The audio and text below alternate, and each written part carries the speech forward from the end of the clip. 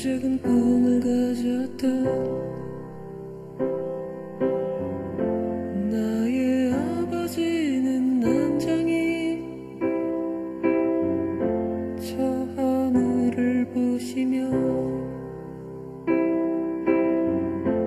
내게 말씀하셨죠.